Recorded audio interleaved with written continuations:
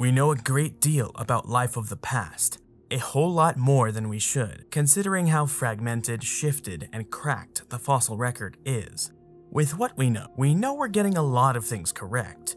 There are ways to validate and confirm certain aspects of biology of past organisms. However, there are some aspects that are known unknowns, or even unknown unknowns. Stuff we know we don't know versus stuff we don't even know we don't know. What if everything we know about life of the past and how that life looked and acted is part of that unknown category? Let's take a trip through the pages of a book that asks that very question.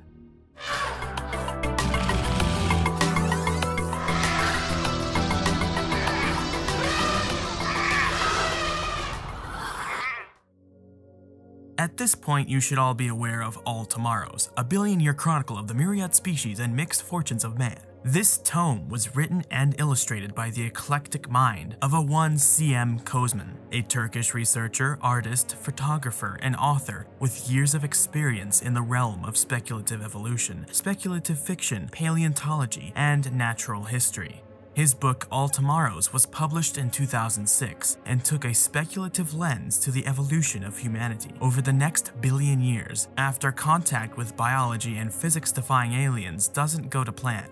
C.M. Koseman's work also involved another work of speculative fiction in the form of Snaiad. Snaiad is a website dedicated to the exploration of a fictitious alien world and its inhabitants, and how they evolved. In 2012, C.M. Koseman was part of a team of other speculation interested people that published another book. This time, it was about extinct life.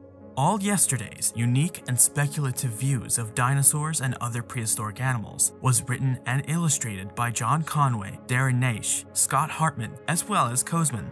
It tackles the question of how to best fill in the gaps in our knowledge of the biology and anatomy of extinct organisms when given the examples of living animals and their bizarre soft tissue body parts. You see, a skeleton preserved in the fossil record only gives you so much information on how that animal appeared in life. Living animals have amazing colors, flashy dewlaps, fatty humps, frills, spines, wattles, and so, so, so much more. The skull of a hippo, for example, is an eldritch horror to behold. Spines, crags, scoops, and those nasty tusks don't betray how soft, pudgy, and fat the real animal is. A hippo easily conceals its tusks behind huge deposits of muscles, skin, and sinew. The same could be said of extinct animals like the bizarre mammals of the Eocene, but could also be applied to the dinosaurs. Darren Naish writes in All Yesterdays, It is well known that the process of reconstructing a fossil animal involves a marriage of both hard data as well as a degree of informed speculation. That hard data involves such thing as lengths and widths of bones and other hard parts and the positions of specific muscle groups present in living animals, while the creation of a bone and muscles only reconstruction should be seen as the first step in the depiction of a fossil animal, and even as a presumably inescapable part of creating a reconstruction, readers may be surprised to learn that many people who have reconstructed extinct animals have frequently done so without recourse to these vital steps. Some of the greatest and most influential paleoartists of all time, like Zdenek Burian and Rudolf Zallinger, weren't so precise as to use the real measurements of the bones to create their masterpieces. They more or less gave it their best educated guess. A lot of their reconstructions don't really resemble the bones of the species concerned. Their work is nothing short of brilliant with their amazing techniques, but the anatomy eh, leaves a little bit to be desired. Paleoart involves science as much as it does art, and those reconstructions that didn't strive to keep some level of scientific credulity strained the line between science and art.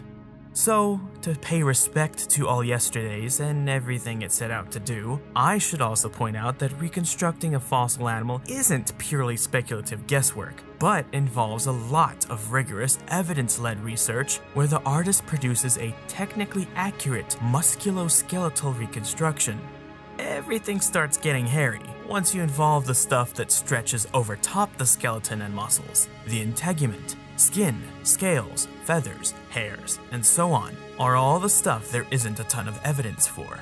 All Yesterday sets out to look at the skeletons of extinct animals and fit in plausible pieces of soft tissue that makes reasonable sense to the animal's apparent physiology. The real problem with reconstructing dead things is the soft and squishy bits.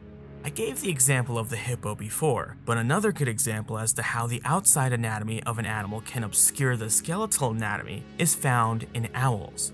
Look at their skeleton, then look at their bodies with muscles and skin applied, and then of course with all the other stuff on top of that. Each layer makes the skeleton disappear, and the animal look wildly different. Young owls without flight feathers look like aliens because more of their underlying anatomy is just poking through. Same could be said of just the bones we have of most dinosaurs. Without further ado, let's begin.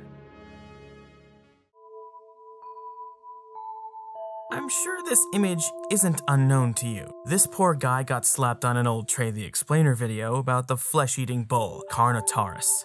This piece was made by John Conway and shows what's presumably a male individual strutting his stuff for the lovely lady flesh eaters. It has a pair of flaps on its hands used to help aid it in its sexual display. This isn't necessarily a new idea though. Carnotaurus and most members of its Abelisauridae family have some of the shortest arms of any theropod group. They are extremely unusual, even amongst short-armed theropods. Tyrannosaurs may also have short arms, but theirs still have full ranges of motion and can grasp with recurved talons. The abelisaurs, like Carnotaurus here, have ultra disproportionate arms. The radius and ulna were virtually immobile, while the humerus had such a rounded ball joint inserting it into the enormously inflated shoulder girdle that it could move in pretty much any direction. They could stick their arms out horizontally, which is highly unusual for most non-bird-line dinosaurs. C.M. Koseman also came up with this Majungasaurus piece to show a similar thing going on. The next speculation was by John Conway. Here we are met by the dark necks and bright white heads of a group of Elasmosauruses competing against each other to see who has the best moves. The authors have speculated that these elasmosaurs plunge down to great depths and then swim at high speeds, to lunge out of the water to wave their necks in a pre-mating display.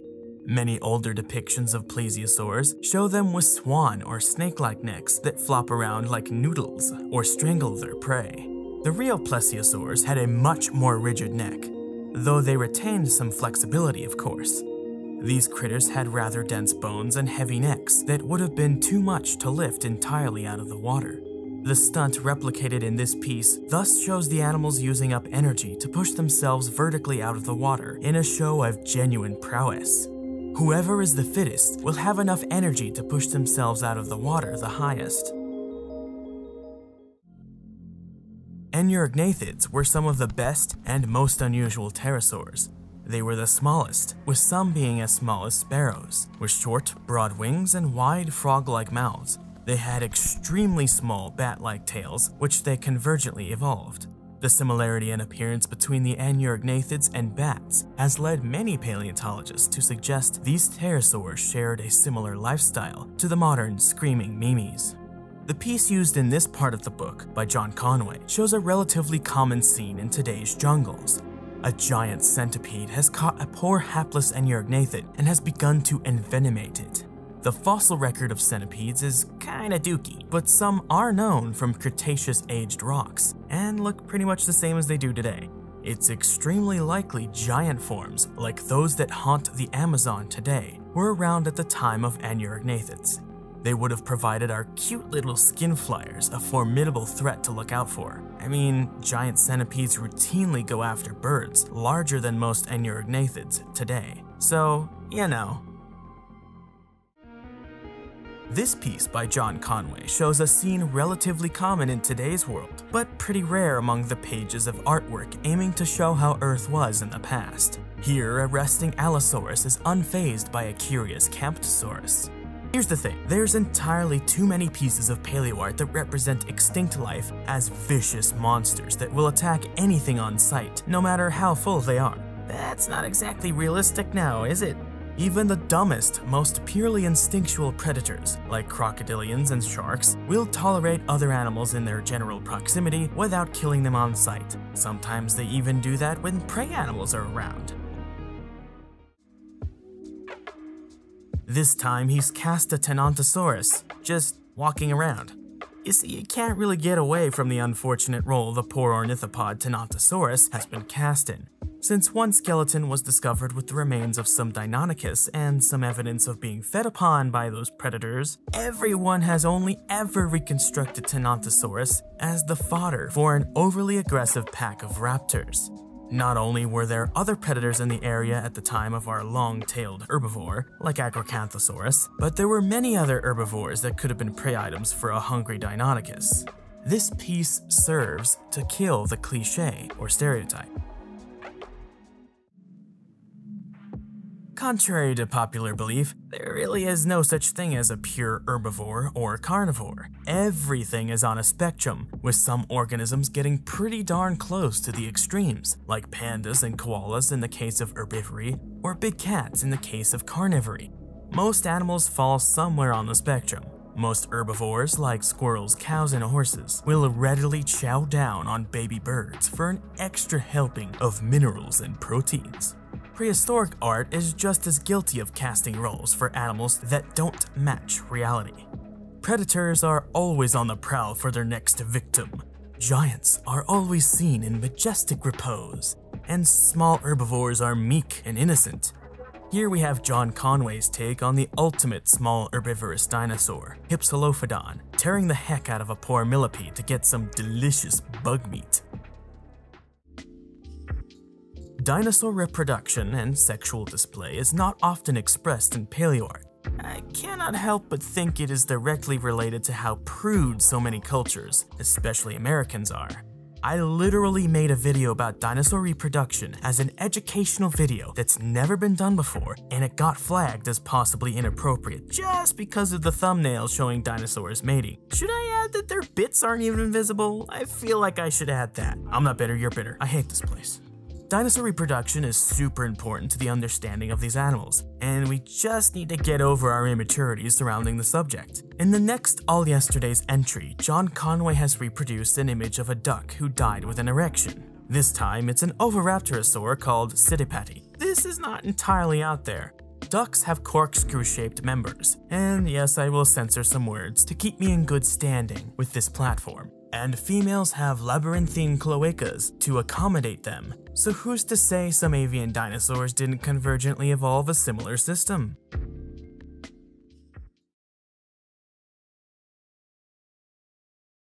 Make sure you leave a like and comment on this video, share it around and subscribe. While you're at it, ring the notification bell too if you want to stay in the know with everything Edge. Thanks for watching. Want to help Edge out? Subscribe to the Patreon at any tier you like for a whole smorgasbord of delicious offerings. Many thanks to Thea Svensson, Steve Bradshaw, Staniforth Hopkins, Natty Cat, Dinosaur, Arda Bayer, Abby Smith, Henry Brennan, Dana Manchester, Chris Frampton, and Antron. You've all helped to make this channel possible. Thank you, thank you, thank you.